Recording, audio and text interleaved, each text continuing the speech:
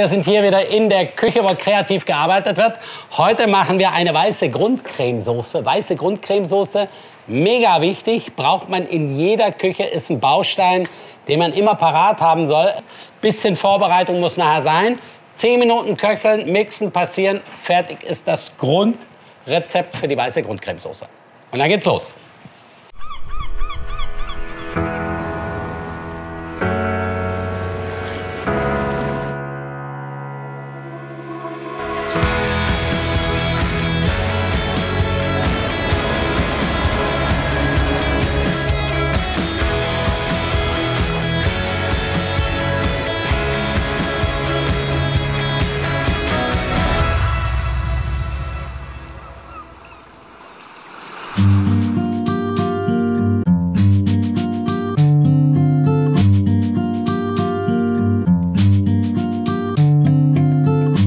Champignon, Schalotten, Fenchel und Staudensellerie. Die schneiden wir schön klein, die verkochen relativ schnell und wenn wir die püriert, geben die zusammen eine wunderbare sämige Bindung. Aber was noch wichtiger ist, die geben ein wunderbares harmonisches Geschmacksbild. Und das wollen wir bei der Grundsoße haben. Dann brauchen wir Nollibrat. Nollibrat ist trockener Wermut. Das ist kraftvoll, hat 17% Alkohol, ein bisschen mehr als Weißwein, ist aber vom Geschmack her viel, viel runder, viel fülliger, viel tiefer. Das brauchen wir zum Ablöschen. Gemüsefond brauchen wir auch noch. Ähm, dann brauchen wir ein bisschen Sahne. Aber jetzt hier nicht Sahne light. Wenn wir eine Cremesoße machen, eine weiße Grundcremesoße, dann gehört da Sahne rein. Und zwar richtig rein. Entweder machen wir ein Rezept, wo wir sie nicht brauchen. Aber da, wo wir sie brauchen, da machen wir sie bitte richtig rein. Großzügig, viel und so, dass es auch richtig schmeckt. Dann brauchen wir ein paar Gewürze, ein bisschen Salz, Zitrone, weißen Pfeffer, Koriander aus der Mühle. Und dann haben wir hier noch Kerbe und ein bisschen Estragon das brauchen wir mehr oder weniger nur zum Aromatisieren. So, und dann legen wir los. Champignon, Schalotten, Fenchel, Staudensellerie. Das kommt in ganz vielen Rezepten vor. Das sind einfach vier Basisbausteine. Von der Größe her ähm, klein geschnitten. Wir brauchen keine mini kleinen Würfelchen. Klein ist okay. Ich denke, das kann man hier so sehen, dass das einigermaßen gleich ist. Alles schön klein geschnitten. Voilà, zu gleichen Teilen kann man jetzt mal grob sagen, nicht unbedingt vom Gewicht her, sondern von der Füllmenge her. Wir haben es jetzt hier schön Häufchen für Häufchen. Jetzt kommen die Champignons noch dazu. So, ich finde, das sieht schon ziemlich gut aus. Gleiche Teile. Voilà, eins, zwei, drei, vier. So, ab zum Herd. Okay, jetzt gehen wir in den Topf rein. Ganz wichtig, wir fangen mit Butter an.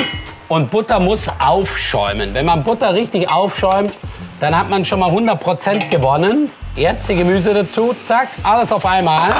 Im Gemüse steckt da wahnsinnig viel Wasser drin. Das Wasser muss raus, wir wollen Aroma von den Gemüsen haben. So, wie lange schwitzen wir hier? Wir brauchen so drei bis vier, vielleicht auch fünf Minuten. Aber man sieht jetzt auch, wie die Champignons schon zusammenfallen. Das Finale vom Anschwitzen ist das Ablöschen. Nur wenn man was Gutes reinmacht, kommt auch was Gutes bei raus. Also nicht so zimperlich sein. Da muss schon ordentlich Nollibrat rein. Es riecht auch wirklich lecker.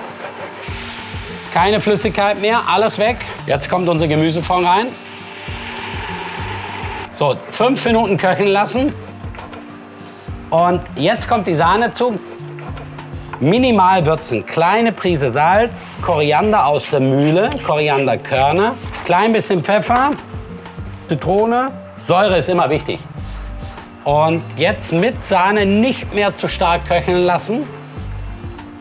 Wenn man Sahne zu stark kocht, dann schmeckt es hinterher brandig. Alles rein im Mixer. Wichtig ist jetzt, dass alles gut gemixt wird. So. Ich nehme so ein ganz feines, hier so ein ganz feines Sieb nehme ich, denn ich will jeden Krümel raus haben. Das ist alles, was noch überbleibt. Ich mixe hier einmal kurz. Ich habe hier einen Mixer. Jetzt habe ich eine wunderbare, schöne, sämige Bindung. Jetzt komme ich mit meinem Estragon, mit meinem Kerbe, den lege ich jetzt kurz rein. Ich nehme diese Kräuter nur zum leicht aromatisieren. Zack, nehme meine Pinzette, hole das alles wieder schön raus, mix die Gewürze noch einmal richtig mit ein. Und fertig ist unsere weiße Grundcremesoße Und es ist ganz einfach zu adaptieren. Einfach groben Senf mit rein, Löffel geschlagene Sahne oder Champagner mit ein bisschen Creme fraiche, Safranfäden, Gorgonzola reinmixen oder frischen Trüffel, ein paar Steinpilze anschwitzen und ein paar davon in die Soße reinmixen. Da kann man sich wirklich vorstellen, da macht Risotto essen und Pasta essen mit einer wunderbaren Rahmsoße richtig Spaß. Euch viel Freude damit, das geht wirklich ganz einfach. Und beim Abschmecken immer dran denken, von allem ein bisschen, für nichts zu viel. Tschüss.